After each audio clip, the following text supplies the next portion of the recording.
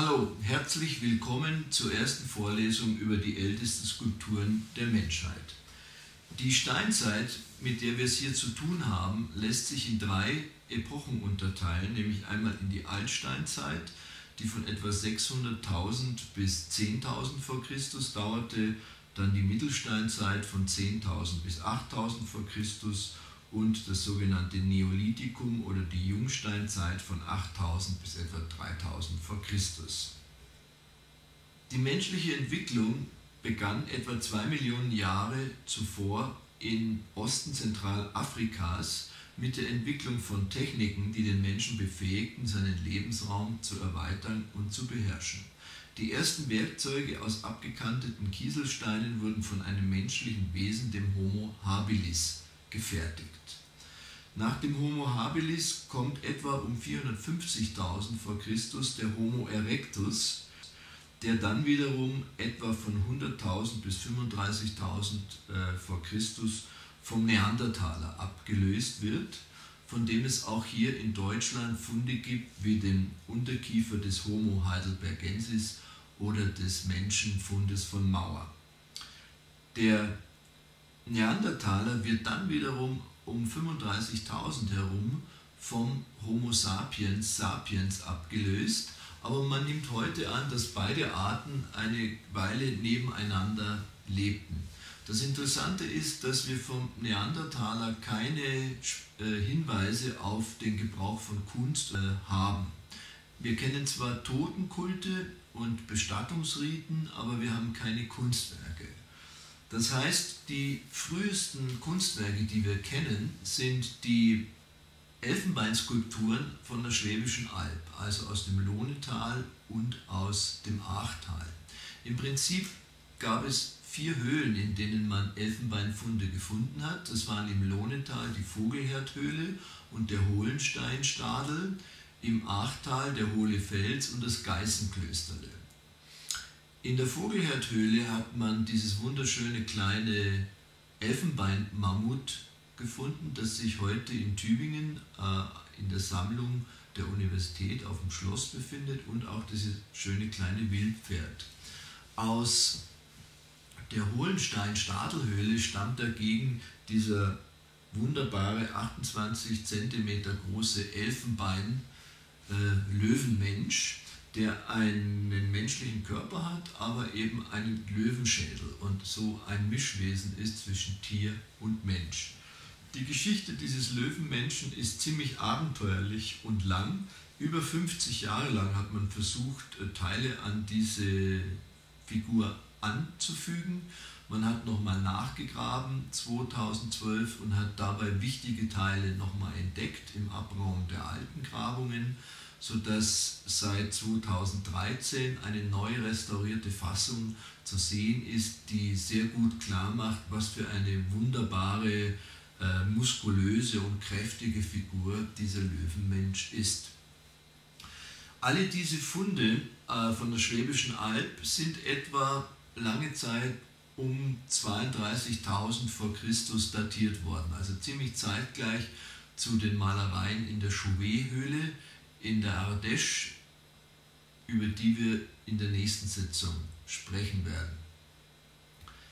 Allerdings hat man jetzt bei Nachgrabungen in dem Hohlefels vor einigen Jahren ein kleines 6 cm großes Elfenbeinfigürchen gefunden, und zwar ein weibliches Fruchtbarkeitsidol. Eine Figur mit großen Brüsten, einer ausgeprägt dargestellten Vulva, einem Bauchnabel, aber verkümmerten Beinen und keinem Kopf. Statt dem Kopf wurde oben sehr sorgfältig aus dem Elfenbein eine Öse herausgeschnitzt. Sie müssen sich vorstellen, es ist sehr kunstvoll, es ist sehr schwierig mit einem Steinwerkzeug so eine Öse herauszupräparieren, ohne sie zu beschädigen. Und daraus kann man schließen, dass diese kleine Amulettfigur an einem Band wahrscheinlich um den Hals getragen wurde, als ein Schmuckstück oder auch als ein äh, apotropäisches, also unheilabwehrendes symbolisches Objekt.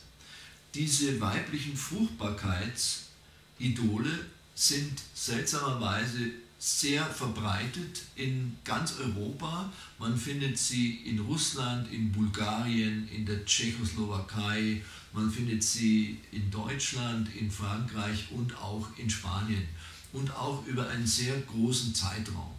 Also die älteste Figur, eben dieses kleine Amulett aus dem Hohenfels, wird aufgrund der Fundschicht etwa in den Zeitraum bis zu 40.000 vor Christus datiert und es ist damit die älteste figürliche Darstellung der Welt überhaupt, die man bisher gefunden hat. Aber diese weiblichen Fruchtbarkeitsidole mit abstrahierten Darstellungen von Frauen mit großen Brüsten, dickem Gesäß und großem Bauch äh, findet man auch noch in Çatalhöyük 6000 vor Christus oder auch in Kreta zeitgleich. Also dieser Fruchtbarkeitskult muss sehr lange in Europa, also wenn man das mal abzählt, also fast 25.000 Jahre Bestand gehabt haben. Die Funde aus der Schwäbischen Alb sind jedoch nicht die ältesten Artefakte, die man gefunden hat, denn in der Blomboshöhle in Kapstadt, bei Kapstadt, sind vor einigen Jahren zwei sehr interessante Funde gemacht worden. Einmal hat man einen kleinen Ockerstein gefunden, der an der Seite ein regelmäßig diagonal geschraffiertes Muster besaß und das auch noch waagrecht angelegt wurde.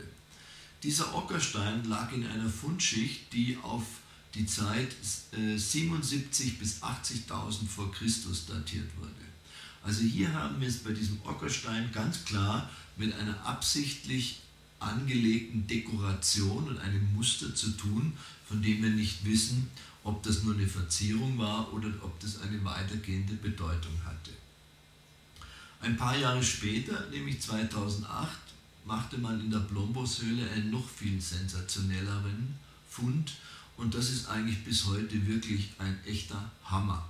Und zwar hat man in einer Schicht, die auf 100.000 vor Christus datiert, also nochmal fast 20.000 Jahre mehr als der Ockerstein, zwei Abalone-Muscheln gefunden, zusammen mit einem großen runden Mahlstein mit zwei kleinen Knochenstücken, die als Spatel verwendet wurden und angerührtem Ockerpigment in dieser Muschel. Und man hat auch äh, das Schulterstück einer jungen äh, Robbe gefunden, bei der durch Erhitzen das Fett ausgelöst worden ist. Dieser Fund ist insofern sensationell, da wir hier wahrscheinlich die älteste Palette der Welt gefunden haben. Und das ist mit Abstand das älteste Beweisstück dafür, dass es schon 100.000 vor, vor Christus Künstler und Maler gab. Denn ein angerührtes Ockerpigment in einer Muschelschale gibt für den Überlebenskampf keinen Sinn, denn man kann dieses Pigment nicht zu sich nehmen. Das Pigment macht nur dann Sinn, wenn man es irgendwo aufmalt. Also das heißt, dass man es auf die Felswand malt oder auf dem Körper aufträgt oder sonst wo. Das heißt, wir haben hier zum ersten Mal 100.000 vor Christus den klaren Beweis, dass es damals schon Künstler gab, die mit Farbe umgegangen sind, die auch ein relativ gutes chemisches Wissen hatten, die also wussten, wie man mit Hitze Fett flüssig macht, wie man das wieder mit Pigment anrührt und wie man das, dieses angerührte Farbe dann weiter verwendet.